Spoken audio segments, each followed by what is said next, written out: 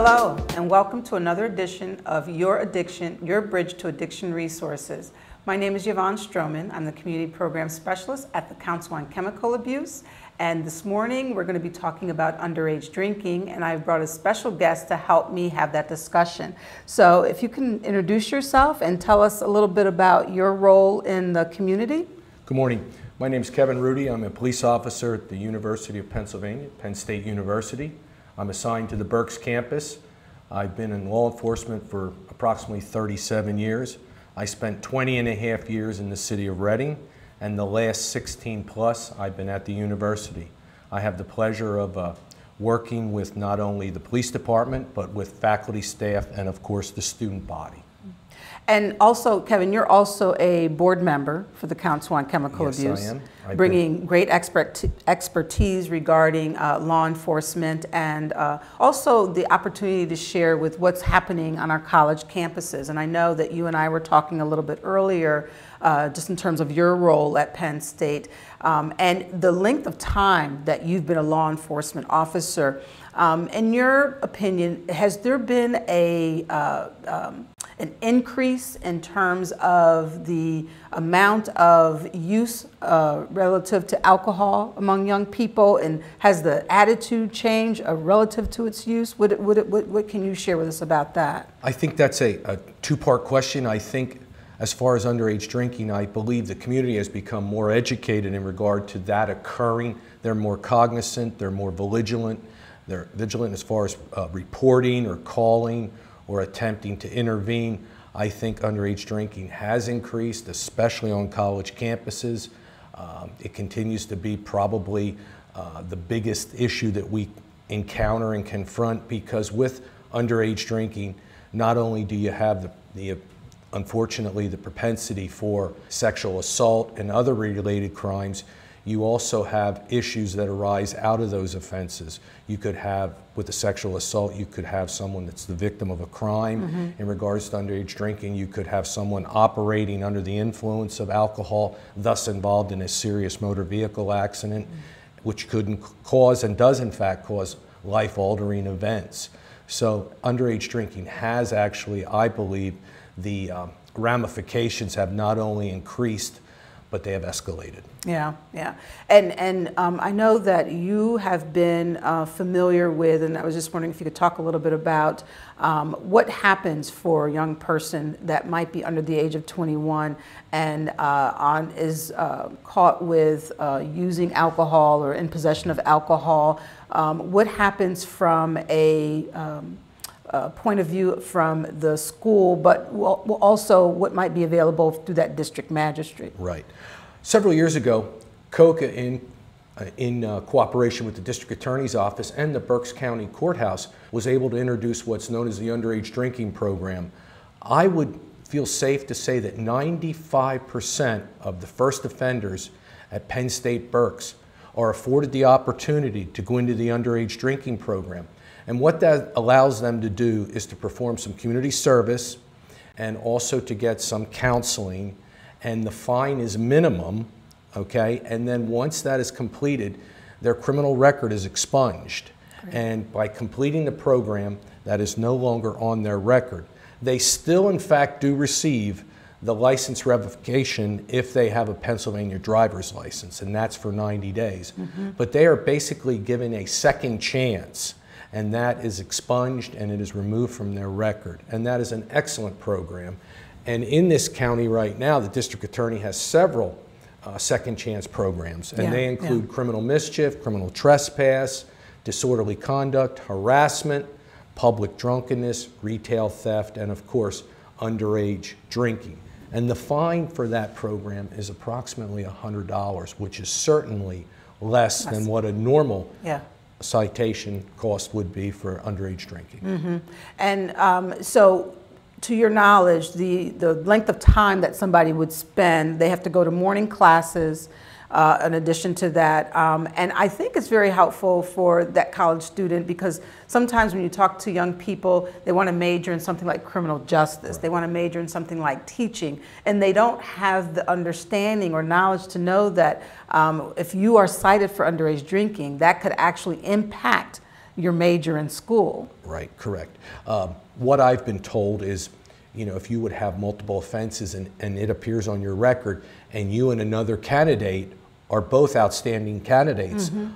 of course that's going to create a red flag for the employer and they in fact under most circumstances would look at the other candidate mm-hmm. and that's what we try to instill in regards to underage drinking a lot of people also neglect or forget to you know forget that if you are driving and you are under 21 years of age if you have a BAC a blood alcohol content and it's 0.02 or above that's DUI, driving under the hmm. influence. Mm. Whereas if you're 21, it's 0.08, and that's a substantial gap. Yeah, yeah, that's that's that's huge. And and so, what is your role uh, in terms of communicating with parents regarding that? Because I suspect, you know, that mom or dad may get a little upset about that in terms of, you know, I'm putting all this money out into their education, and what are you're telling me is that they could be getting into trouble and, and jeopardizing their career. Mm.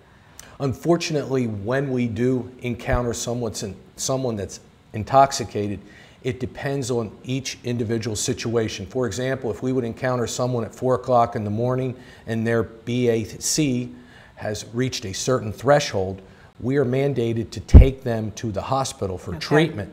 Okay. Um, if they uh, do not have that high of a BAC, we will have someone sit with them or stay with them until it drops to an extremely low level. If we have to summon a, a, family member to come to the university and pick them up, we do that frequently. We also are mandated by the courts to send a letter of notification to the parents. If someone is cited for underage drinking and we did not contact them the night of the offense, a letter is mailed to the parents informing he or she that their son or daughter was in fact cited for mm-hmm. underage drinking. Mm-hmm. So the, the, per, the parameters are in place for parental notification. Yeah, and, and I think that's very, very important. Um, and, and so the school is also supportive of trying to get that young person the help that they need if necessary. Um, and have you been, how have you been involved with that process? As far as the school, academically wise, they have what's known as student affairs. And if mm-hmm. someone gets cited for underage drinking, we also do what is known as a referral, and that goes to the Office of Student Misconduct. Okay. And they, in fact, get involved and they require the students to also attend uh, classes that specifically deal with underage drinking ramifications. They have to meet with counselors and they have to look at the big picture. And the big picture is that alcohol can, in fact, cause life altering effects to them, and it is a fact uh, an addiction. Yeah, and I think what, for purposes of our conversation here, is very important that we note that um, our the young mind is still developing, right. and so there's research out there that says the brain is still developing from a cognitive point of view, even up until the age of 24 and 25, and so. Um, introducing alcohol into the system at such a, at an earlier age than that really, as you mentioned, mm-hmm. can disrupt their ability to learn. And so, um, you know, while we want to be legally responsible, we also want to be able to share with young people from a um, educational responsibility exactly. as well that we want them to have the best chance to be as successful as they can be. And so, uh, as part of your role as law enforcement and uh, you know working in tandem with having young people get the help that they need is very very pivotal. Um, and so, can you talk a little bit about, you know, because I was sharing with you earlier, um, this is the end of the school year. Right. Um, uh, Penn State has already had its commencement and graduation.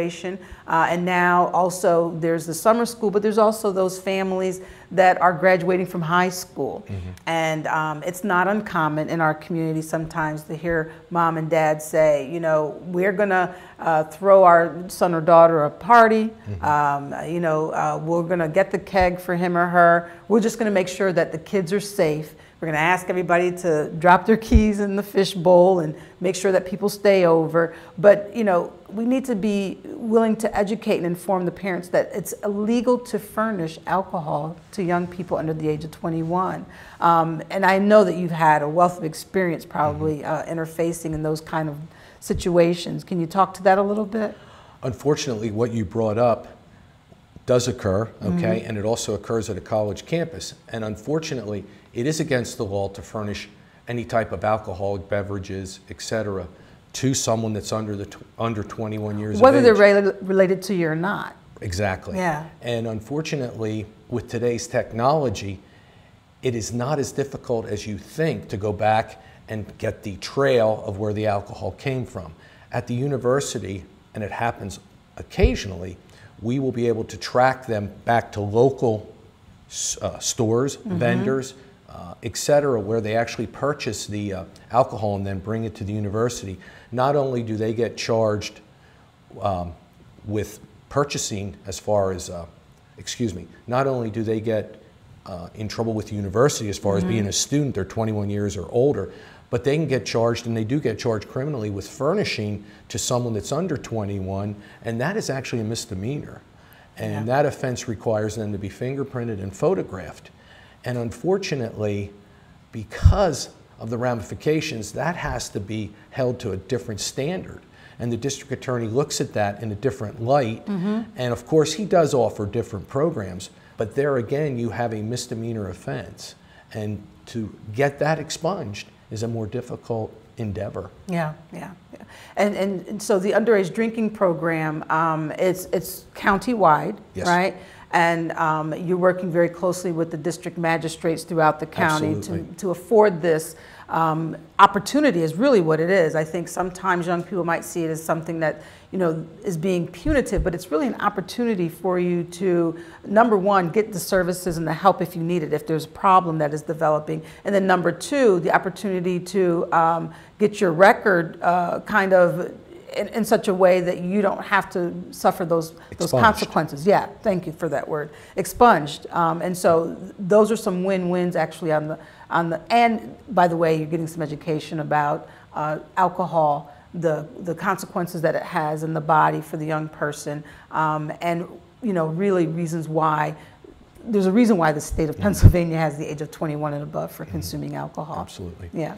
And I think one thing that we do have to stress is with the presence of alcohol in a college environment and or a high school environment, the propensity for sexual assault increases tremendously Yeah. because what you have is you have young men and women who are now under the in- influence of alcohol and their mindset and their thought pattern changes drastically and they're into a situation where they're not cognizant of how they can get out of a, a particular incident. And unfortunately, lives are affected Yeah. based on the consumption of alcohol if a sexual assault occurs because the ramifications can be life Mm-hmm. And it's altering. changed. Yeah, Exactly. absolutely. Absolutely. Exactly. It's changed a lot because of technology. Because if something occurs at a party, they can take pictures, Mm-hmm. put it on Snapchat, Yik Yak, and it's all over. It can be over the county, statewide in seconds. So you have to be responsible for not only yourself, but for your actions and the way you basically carry yourself in the community. Absolutely, absolutely. Well, this is really good information, Kevin, and I really thank you for uh, joining me this morning. So, in the couple few minutes that we have left, is there anything that you that we perhaps did not touch upon that you really want to make sure uh, the viewers are able to uh, to take with, away from this? I think the most important thing is in Pennsylvania, the law says that you have to be 21 years of age to purchase or consume alcohol. It doesn't say in the law that you have to exhibit rationalization or good common sense, okay? It's not written in the law, it's not in any type of criminal code.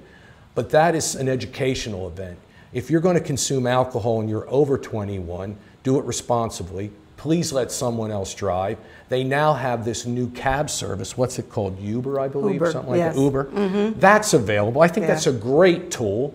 You can call someone to pick you up. It gets you from point A to point B.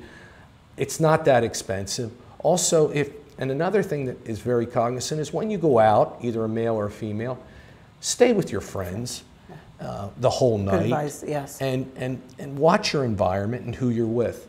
But I think the most important thing for young men and women that are not 21 yet, I strongly encourage you not to partake until you are 21 because it can be a career affecting event and it's not worth having that on your record or something that you have to deal with. Plus, it puts stress not only on you, but your parents, your family, your guardians, and other members other members of your family. Yeah, well, that sounds like great sound advice, uh, and I thank you, Kevin, for joining me. If you would like more information about our underage drinking program, you are welcome to contact us. Go on our website at www.cocaberks.org or contact us at 610-376-8669. We welcome you to join us again soon, and thank you for joining us today. Have a great day. Check back every week for a new story with your Bridge to Addiction resources. You can call 610 376 8669 or visit online at cocaberks.org. C O C A B E R K S.org. Be sure to like and follow the Council on Chemical Abuse on Facebook and Twitter.